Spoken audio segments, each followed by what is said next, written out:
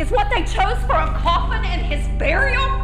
This? You have devoured my family. Neither parent accompanied that baby to the nursery. Tell him how you caused that injury.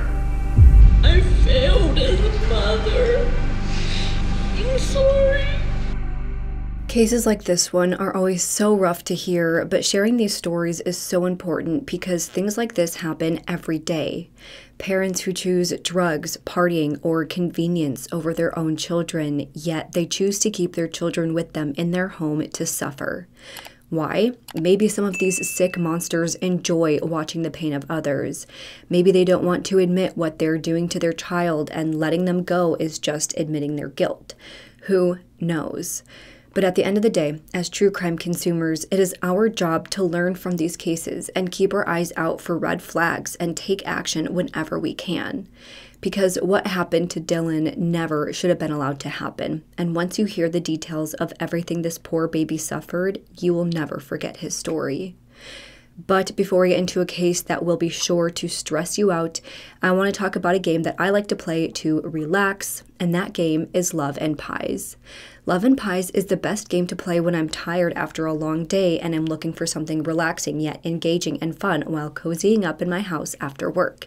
It's also a really great game to play while I'm traveling or waiting at the airport to pass the time. Love and Pies is the cutest free to play Merge 2 mobile game that you can play on your phone or tablet. Ever since I started playing months ago, I cannot get enough. In Love and Pies, your aim is to match fitting ingredients to create pies and other baked goods to then take and serve to your eager customers.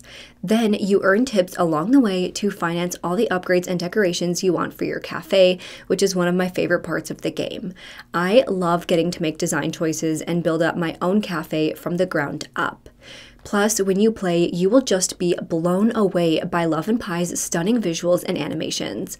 They truly create an immersive experience that makes creating your own business that much more enjoyable. Right now, there's a special event going on. It's Halloween in Appleton, and they have cooked up the spookiest two week event. You can help Kate host a spooky costume party by renovating the cabin for the event. You can unlock a new, beautiful area and enjoy milestone rewards like boosters, currency, and decoration upgrades. This event is perfect for anyone who loves seasonal, immersive content. Now, Love and Pies wanted to do something special for the viewers of this channel. Everyone that downloads Love and Pies using my unique link down below, then plays until day 3, will receive an amazing gift via the inbox message. You will get 200 energy and 50 gems you will find out quickly how important those are to the game. Download now for free using the link in the description box below to get your super sweet surprise gift delivered to your inbox. Don't wait, download Love and Pies now, available on iOS and Android, and join me in some fun, relaxing gameplay. Thank you again so much to Love and Pies for partnering with me on today's video. With all of that being said, let's get into the case. Today, we are going to be discussing the horrifying case of Dylan Groves. Dylan James Groves was born on January 10, 2019, in Otway, Ohio, to Jessica and Daniel Groves. I wish I could tell you all about Dylan and who he was as a child, but he only got to spend two very short months on Earth before his life was taken from him. Dylan's life started on a very rough note, and although he did spend a few weeks in the care of a mother who loved and deeply cared for him, he would ultimately be returned to the very people who wanted nothing to do with him. According to a nurse who helped deliver Dylan on the morning of Dylan's birth by around 5:30 a.m., Jessica and Daniel came into the hospital appearing flat, disconnected, and uncooperative.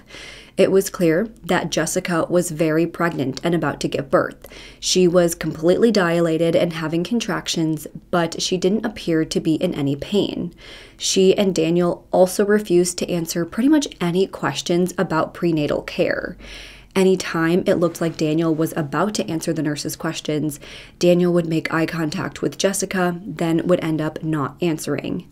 This whole situation was very strange to the nurse because she'd never seen a woman so calm and deny being in pain despite being in active labor.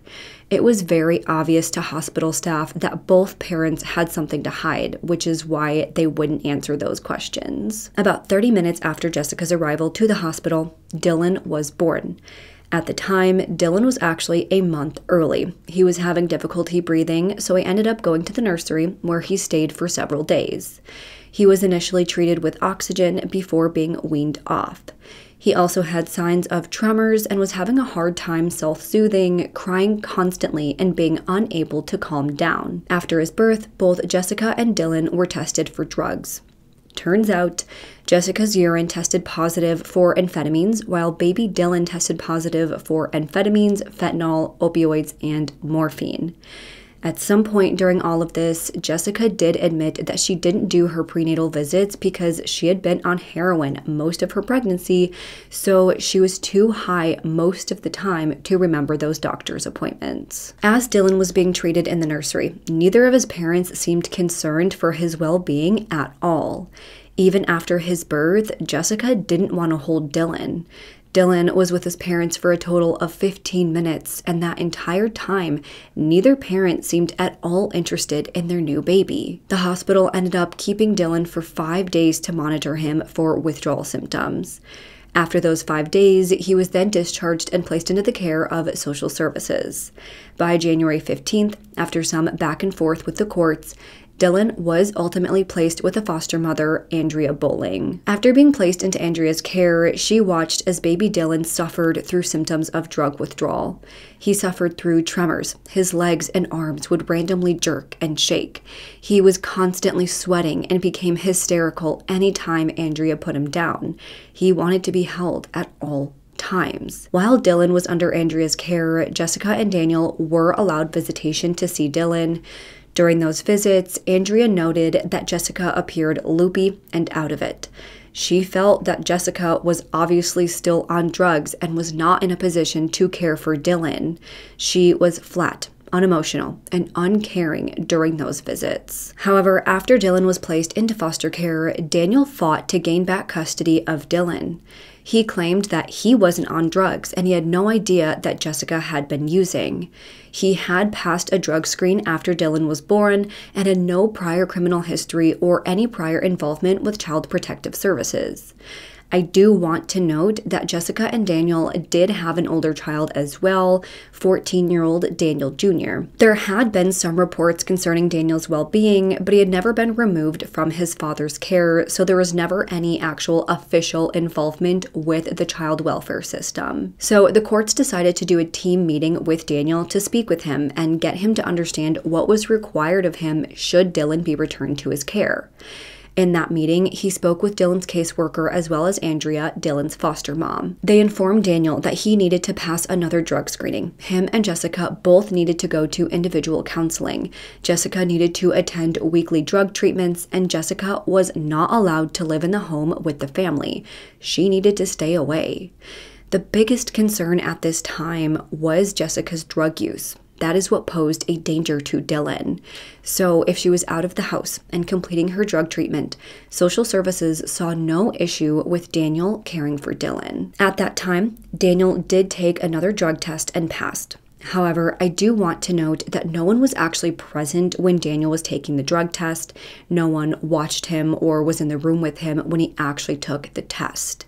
That is obviously concerning and definitely raises some questions in terms of accuracy. Either way, because Daniel passed that drug screen, Dylan was placed back into his care by January 28, 2019, after 12 days spent in foster care. I will note that social services did technically maintain custody of Dylan, but as a part of the family reunification process, they placed him back into Daniel's care full time. When Andrea returned Dylan to his father, she gave him all sorts of things to help out with his care formula, diapers, his blanket, a quilt from the hospital, some pictures of him, as well as a Bible. She also gave Jessica and Daniel her phone number, telling them to call her if they needed absolutely anything. Lastly, she wrote them a letter detailing just how much she loved Dylan and how much she cared about him. She asked if she could maybe be involved in his life in one way or another. Maybe they could at least keep her updated as he reached his milestones. Just something so she could stay connected to the sweet baby boy who she cared for. But Jessica and Daniel would never reach out to Andrea for help. She was not allowed to take any part in his life. After returning Dylan to Daniel's care by February 4th, Dylan's caseworker, Patricia Kraft, conducted her first home visit. During the visit, Dylan appeared quiet, content, and had no additional injuries. They confirmed that Jessica was in drug treatment and reminded her to continue her treatment indefinitely. After that first visit for the weeks that followed, Patricia made many attempts to get into touch with Daniel and Jessica, but they stopped responding. She showed up to their home, but no one was there.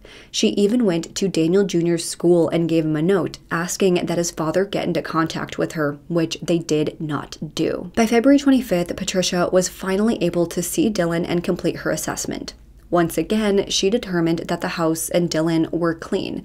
Dylan was appropriately dressed, and he had no further obvious injuries. Daniel told Patricia that Dylan was attending his doctor visits where he was said to be gaining weight appropriately.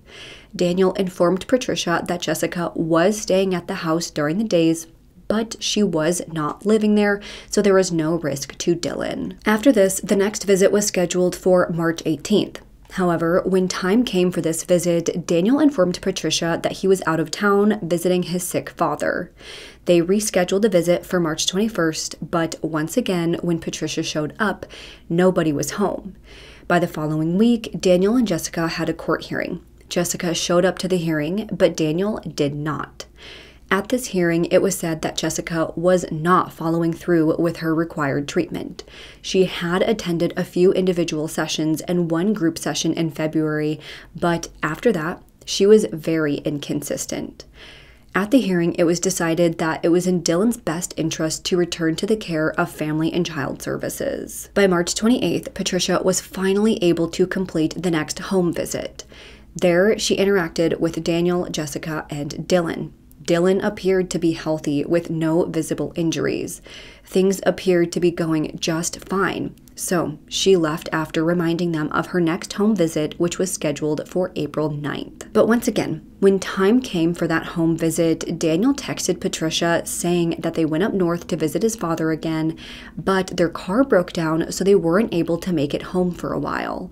Then they had another court hearing scheduled but this time neither Daniel or Jessica made it.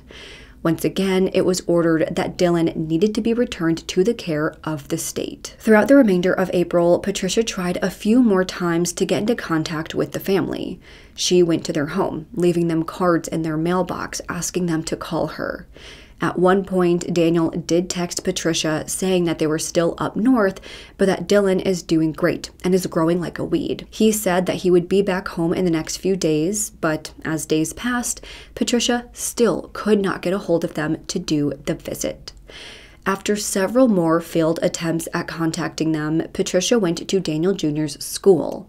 When she saw him, she said that Daniel Jr. appeared nervous and was a bit dodgy with answering questions. He told Patricia that Dylan was just fine, but he admitted that Jessica was still living at the home with them before sort of changing his answer and saying that Jessica only sometimes lived with them. She then asked him about his grandfather up north, who Daniel claimed to be visiting, but Daniel Jr. had no idea who she was talking about. At that point, it was decided that Daniel Jr. be placed into the state's care until they figure out what's going on. They immediately placed him with an aunt and an uncle, and it was only after Daniel Jr. was taken that Daniel finally got back into contact with Patricia to ask her where Daniel Jr. was. She notified him that they took Daniel Jr. and requested that they bring Dylan into the agency immediately. He said he would, but of course, he did not. Patricia tried visiting the home once again, and this time there were cars parked in the driveway. But once again, nobody was answering the door. After all of this, finally, by April 30th, after not seeing Dylan for over a month now, Patricia filed a missing persons report for Dylan. For the month that followed, social service workers attempted to visit the home several more times. Each time there were cars present, but when they tried getting inside or even speaking with Daniel or Jessica, they were getting nothing. Then, about two weeks after the missing persons report was filed, a law enforcement officer finally visited the home to speak with the couple. Once again, they knocked on the door but got no answer.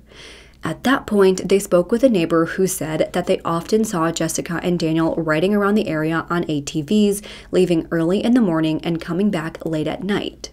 During that interview with the neighbor, the officer did actually see Daniel riding past them on his ATV and he tried chasing him down, but Daniel headed into the woods and the officer lost sight of him. For the weeks that followed, officers continued following up with Daniel and Jessica, but were getting no closer to locating Dylan. Finally, by June 10, 2019, officers obtained a search warrant for the Groves home. Officers surrounded the home, ordering Jessica and Daniel to come out. It actually took 20 minutes of waiting, but Jessica finally exited the home. At that time, she was clearly volatile and agitated. She screamed and cursed at the officers, informing them that Patricia, their social worker, had already taken Dylan, so he was no longer in their care. They finally apprehended Jessica, but still, Daniel wouldn't come out. He barricaded himself inside and refused to move. After six hours of trying to negotiate, officers ended up sending a robot camera into the home to locate Daniel, and finally, they they were able to get Daniel out of the home as well. At that time, Daniel told them that he was sleeping that entire time, so that's why he wouldn't come out. He too told officers that social services had already taken Dylan into their custody. Officers reached out to Patricia to confirm this, obviously, but of course, she told them that she hadn't seen Dylan since that March 28th visit. No one had seen Dylan in over a month and a half at this point. After apprehending Daniel and Jessica, the search of their home was executed. Inside, they found no sign of Dylan anywhere. At this point, officers were still hoping that he was alive, and maybe they just gave Dylan away to a family member or something like that. But obviously, none of this was looking good. After taking Daniel and Jessica into police custody, of course, they were both interviewed. According to the officer in Jessica's interview, she appeared very standoffish and cold. She didn't want to talk to the officer and appeared very annoyed at the situation. She maintained that social services took Dylan from them. In his interview at first, Daniel also said that social services took Dylan. According to the officer, Dylan also appeared dope sick, meaning that he was showing symptoms of withdrawal from opioids. He said that he would not give them any information until they allowed him to speak with Jessica, so they did. They allowed him a phone call, which was recorded. In that phone call, officers heard Daniel say, in part, if they find his body and find out where he had a broken arm and shit, we're effed. It doesn't matter. They don't know where he's at. I don't know where he's at. Obviously, this was very concerning to hear and pretty much confirmed everyone's worst fears that baby Dylan was most likely dead. After this jail call, Daniel was interviewed once again, and this time he admitted that Dylan was not taken by social services. And after some pushing, Daniel finally admitted that he knew Dylan was actually dead. He claimed that one day he found Dylan deceased in his crib. He claimed to have nothing to do with his death, but he said that he could lead them to where they put his body to cover up his death. At first, though, Daniel actually did not plan on showing authorities the real location of Dylan's body. He first brought them to the woods near his home, but authorities searched all around the area and found nothing. After this, authorities told Daniel that he needed to give them the real location. And finally, he told them to search in a well located at the Mount Hope Bible Camp, about two miles away from the Groves residence. Authorities gathered several volunteer firefighters to help with searching the well. They initially tried to go down a logging road to enter from the bottom of the well, but there was too much water in the area to gain access. So instead, they drained the well of its 13 feet of water and then got a crane to drop hooks into the well to retrieve whatever was inside and after around three hours of draining and searching around the well with the crane, they lifted a large item out of the well. Immediately upon lifting it out of the well, the volunteers said that they were hit with a smell of rot and death. It ended up being two crates that were tied together with both open ends facing each other to create a sealed box. The ends were then tied with a copper wire. Around the entire thing, there was a chain which had been connected together with three different padlocks, 12 zip ties, and eight metal wires. The milk crates were then weighed down in that well with 18 large rocks. Altogether, the firefighters estimated that the crate and everything inside weighed about 70 to 80 pounds. Of course, it was a process to get all the chains and padlocks and zip ties removed to finally look inside those milk crates. But once they did, they were horrified at what they found. They found Dylan's tiny little body wrapped in six layers of plastic wrap that had been sealed with duct tape and zip ties. He was then placed inside that milk crate along with all those rocks to weigh the crate down.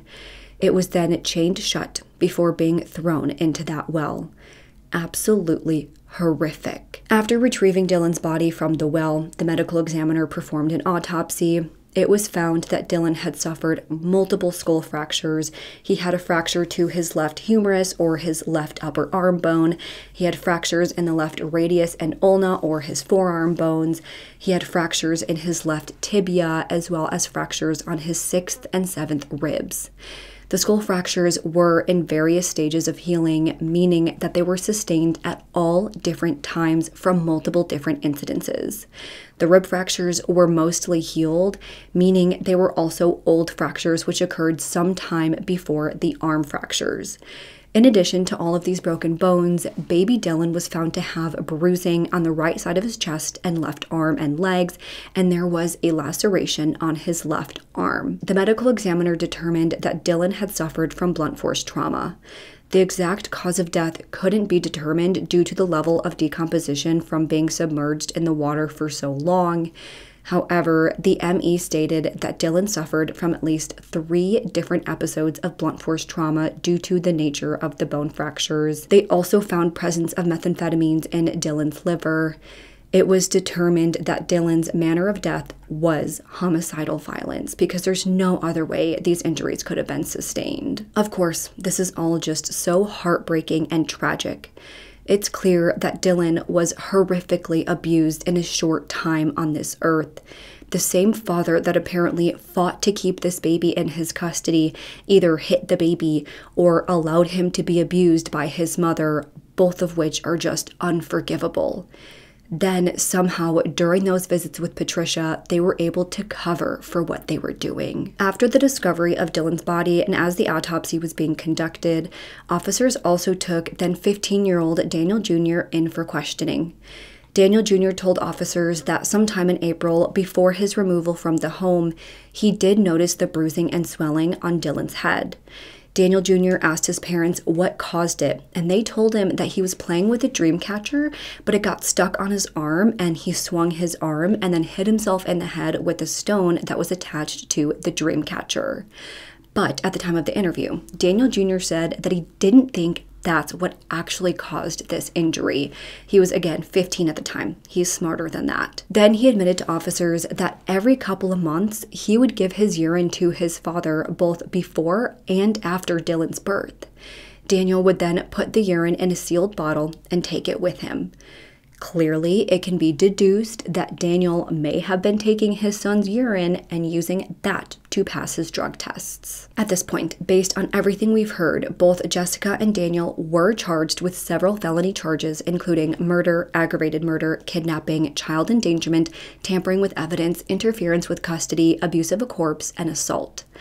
Both pleaded not guilty to their charges, and by January 6, 2020, the trial for both Daniel and Jessica began. The prosecution explained everything that happened in Dylan's life from before he was even born. How Jessica and Daniel showed up to the hospital appearing flat, unemotional, and completely disconnected from what was happening.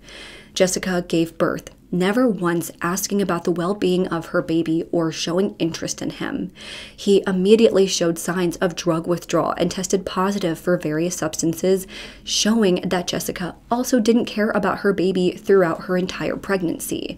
She also admitted that she was taking heroin while pregnant. He was sent off for further medical care, and when he was, Daniel went and checked on him once in the nursery. But other than that, he couldn't care less, and neither could Jessica. After baby Dylan was taken away, Daniel fought to have him back, which was granted because the system believed that he was clean while Jessica wasn't. She was the problem here. Daniel promised that Jessica wouldn't be around the baby, but that was a lie. According to what we just heard, Daniel let her live with them and let her around the baby despite her drug use. Why? Probably because Daniel also was using drugs but just did a better job of hiding it. According to what we heard earlier, he most likely used his teenage son's pee to pass those drug tests because the tests weren't being properly conducted. After a few months of these home visits, all of a sudden they got real flaky and started dodging their visits until they just completely stopped showing up. At some point after the March 28th visit, Daniel died at the hands of his parents. However, it's likely that the abuse started before that because, as we know, he had new and old healing injuries occurring over at least three different incidences. So, my thoughts are that the abuse probably started in February or early March, which is around the time that they were needing extra time between those visits, probably to allow those bruises to heal. But again, his caseworker never noticed any obvious injuries and he looked healthy. But if his bruises kept healing before those visits, I guess that explains why. Or maybe Jessica and Daniel were dressing Dylan in onesies that covered him pretty much from his neck down to his arms and legs that would cover any injuries he had on his body. And if the caseworker wasn't taking his clothes off and checking under his clothes, that could also be how she missed those bruises. I haven't seen explained if she did remove his clothing during these visits or if she just kind of looked at him with his clothes on. We don't really know that aspect, but of course, if she didn't take those steps, that's a huge missed opportunity to see if he was being abused. But either way, after suffering for weeks, if not months, of abuse at the hands of his parents, sometime after that March 28th visit, Jessica and Daniel took the abuse too far and murdered their precious baby. This is all what the prosecution was arguing. Baby Dylan was delivered within approximately 30 minutes, and the testimony will be that that delivery was uneventful. Not long after birth, baby Dylan was taken to the nursery and put on oxygen because he was born early and needed support. The testimony will be that neither parent accompanied that baby to the nursery. After the baby died, they then took their baby's body, wrapped it in plastic, and then sealed it with duct tape and zip ties. They then put him into two milk crates and tied them together, weighing them down with rocks and wrapping it in chains, padlocks, and more zip ties to ensure it wouldn't be discovered. They then tried to elude their caseworker and authorities for as long as possible to cover up what they did. These defendants dumped him in a dark 30 foot well of water and left him there for months. You listen to the whispering. If they find his body, we're effed. These two defendants wrapped that baby boy in six layers of plastic and duct tape and chained his body inside a milk crate, loaded it on a four wheeler, and drove it and dumped it in a well. A chain, three padlocks, 12 zip ties, eight wire ties, 18 rocks, six layers of plastic and duct tape. Does this look like panic? I submit to you, it looks like extreme planning. This is what they chose for a coffin and his burial? This? And then they dumped him in a well. Again, this is everything that the prosecution was arguing. On the other hand, though, the defense was actually arguing that Jessica and Jessica alone is responsible for baby Dylan's death. They argued that Dylan had nothing to do with it. He was foolishly unaware of what Jessica was doing to their baby. The only things he's guilty of is helping Jessica wrap the body, getting rid of it, and covering up for what he did. That's it. No big deal. At the trial, Jessica actually took the stand to testify to her version of what happened. She said that she, and only she, caused the death of Dylan. She said that she caused the various injuries to Dylan and hid them from Daniel. But when she was under cross examination and she was asked how she caused the injuries to the baby, she said she didn't remember. The rib fractures, the head injuries, everything must have been caused by dropping him. She said that nothing she did was intentional. These answers were not enough for the prosecution, so they asked her how she truly killed that baby without just saying it was an accident. But she refused to answer. She skated around the specific questions, just saying that it was an accident and that she has to live with what happened for the rest of her life. This was a very heated exchange with the prosecution. It was very frustrating to watch and even more frustrating for the prosecutor. Tell the jury how you killed this baby. It was an accident. Not your excuse. How did you murder this baby? How did you cause these injuries? I have sit here and admitted Answer the question, please. How did you cause these injuries? it was an accident.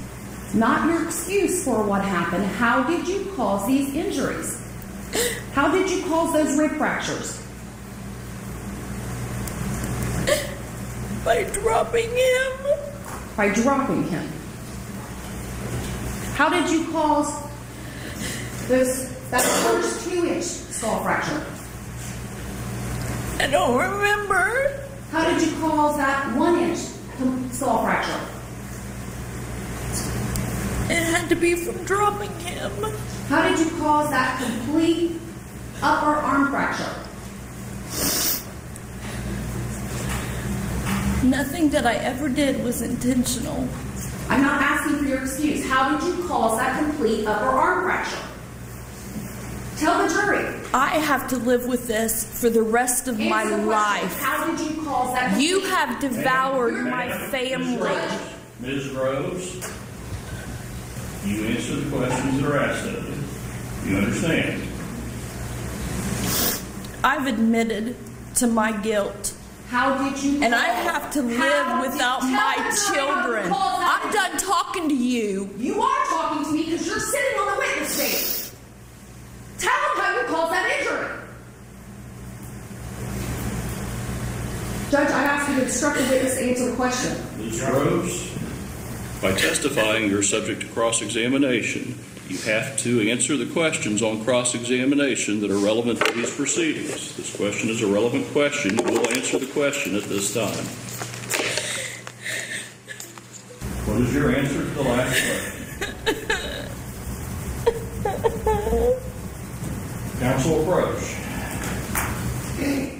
The details she did give were that the injuries Daniel sustained happened on March 27th and that he finally died from them on the 28th. She then kept his body in the home for a few days before wrapping him in plastic and dumping his body in the well. But she doesn't remember the exact details of wrapping his body. She said that through all of this, she didn't have a clear mind because of the drugs. But again, nothing she did was intentional. Then, when Dylan took the stand, he said that he did not know that Jessica had been abusing the baby this whole time. He did see bruises on his head once, the same bruises their teenage son noticed, but he didn't think they were from abuse. He thought that it was from the Dreamcatcher incident. He also admitted at one point that he would see Jessica becoming agitated and get rough with Dylan when he would cry, but he would just give her cocaine to calm her down. So I guess that helped, and he didn't think anything else of it, even though, again, he said earlier in the interviews with police that he didn't know that Jessica was on drugs. Obviously, we know that was a lie, but now he's just fully admitting that he would give her cocaine to calm her down. Daniel said that he only knew his son was dead after finding him in his crib days after the actual death occurred, which makes no sense that if you're an attentive father and you don't know what your wife is doing to the baby and you know that she probably shouldn't be around him alone, apparently you didn't see him for days because you didn't know he was dead for several days. I guess that makes sense but he said that once he found him, panic set in, which resulted in chaos and confusion, causing him to make foolish and poor decisions. He was afraid that DCFS would blame him for Dylan's death, so he decided to cover up what happened rather than reporting it. Under oath, he admitted to helping Jessica hide the body. He helped create that milk crate box, he wrapped it in chains, and helped weigh it down with rocks before dumping it. He also said that he was struggling with drug abuse at the time, so that contributes to his unclear thinking and why he did what he did. However, one thing I want to note is that he said he never lied on a drug test. He said that when he got his son's urine, it was for a friend who needed to pass the test. He never lied and actually passed those tests for real. But again, I don't believe him at all. At the trial, the jury heard from the nurses present on the day of Dylan's birth, various caseworkers who worked directly with the family, Dylan's foster mother, who was just absolutely torn up about the whole thing, as well as their teenage son. They heard from the medical examiner and the volunteers who found the body. And after five days of testimony, both sides made their closing arguments, and the jury of 12 were sent off for deliberations they came back and found that Jessica Groves is in fact guilty of charges of aggravated murder, kidnapping, abuse of a corpse, evidence tampering, and assault. For this, she was ultimately sentenced to life in prison without the possibility of parole. Then, Daniel Groves was found not guilty of aggravated murder, but he was guilty of murder, abuse of a corpse, evidence tampering, kidnapping, and assault. He was sentenced to life in prison with the possibility of parole after 47 years. In the case of State of Ohio versus Daniel Groves, case number 19 CR 586A. Jury has returned their verdict. Jury is to count one, aggravated murder. We, the jury, having been duly impaneled, find the defendant, Daniel A. Groves, not guilty of count one of the indictment, aggravated murder. As to count two, murder. The jury has found, we, the jury, having been duly impaneled, further find beyond a reasonable doubt the defendant Daniel A. Groves guilty of count two of the indictment murder. As to the case of State of Ohio versus Jessica Groves, case number 19 CR, as to count one of the indictment charge aggravated murder, the jury has found, we, the jury, having been duly impaneled, find beyond a reasonable doubt the defendant Jessica Groves guilty of count one of the indictment aggravated murder. Ms. Jessica Groves, anything you would like to say before I impose sentence? I'm just so very sorry.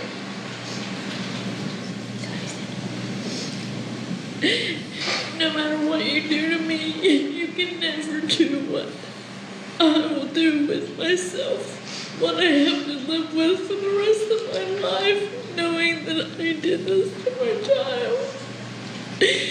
I failed as a mother. I'm sorry. Anything else you'd like to say? Defendant Daniel Groves, will you please stand?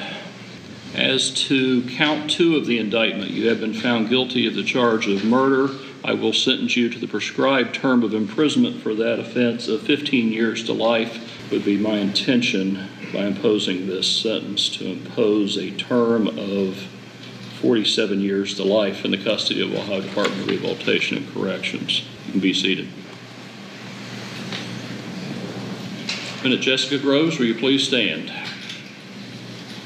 Ma'am, you stand convicted of the charge of aggravated murder will be the sentence of this court that you be sentenced to a term of imprisonment of life without the possibility of parole was to count one of the indictment. Would be my intention to impose a sentence of life without the possibility of parole plus an additional 32 years as part of this sentence. You can be seated.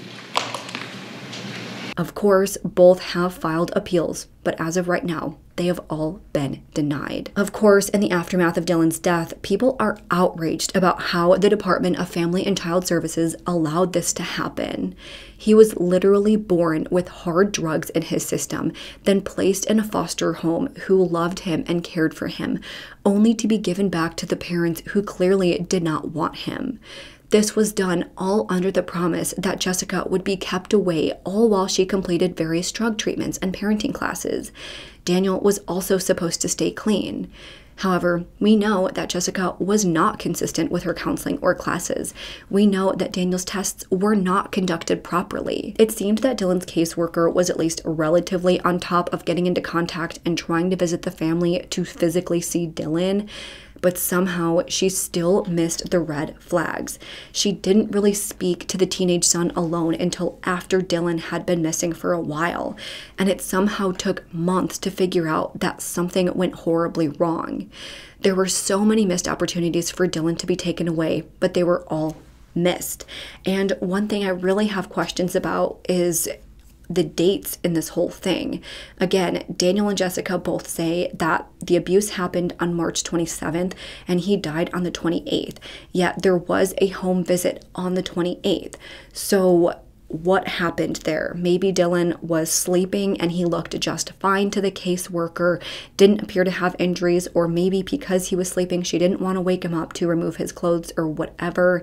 It is possible that he was suffering internally from abuse and that he didn't appear on the outside to be like, dying, I guess. It just makes me wonder how the caseworker missed it if this timeline is accurate. If he really died on the 28th, that means he died just hours after this home visit was conducted. And that makes absolutely no sense to me. So, to me, either the timeline is wrong or the caseworker just ignored or just didn't see the red flag somehow. I have no idea how that would have happened, but that's just, I guess, what's being reported. So I don't really know what to think of that. Either way, it will never make sense to me why children are taken away from amazing foster families and are given right back to the parents who allowed them to be born with drugs in their system and who clearly do not care about the well being of their child. That is not something that should be taken lightly, yet, so often the system seems to place emphasis on getting kids back with their biological parents rather than trying to ensure the actual safety of the child. It's so frustrating that it seems that the needs and wants of these parents are put above the safety of the child. It needs to change and it needs to stop happening. It's tragic and devastating and it never should have happened, but you all know that just as well as I do. So that is where I'm going to end today's case. I know this was a rough one to get through, but as soon as I heard Dylan's horrific story, I knew that I needed to discuss it with you all. And now I want to hear what you all think about this case. Why do you think Dylan was placed back into Daniel's care? Do you think he was truly off drugs at the time and wanted to care for his son? Do you think Daniel was involved in his son's death or was it all Jessica? Do you think he knew about the abuse? Do you think that his death was an accident or was it by Jessica abusing him? Let's discuss this and any other thoughts you have in the comments below. If you liked this video, please make sure to go ahead and leave this video a thumbs up and subscribe to my channel. I put out new true crime and mystery videos every single week. Don't forget to turn the notification bell to on so you don't miss out on any of my future videos. Make sure to follow me on Twitter, Instagram, Facebook, TikTok, Apple Podcasts, and Spotify. All will be linked down below. And if you have any case suggestions, please make sure to fill out the Google form, which is also listed down below. With that, I hope you guys have an amazing week. Stay safe, stay healthy, and I hope to see you next time. Bye.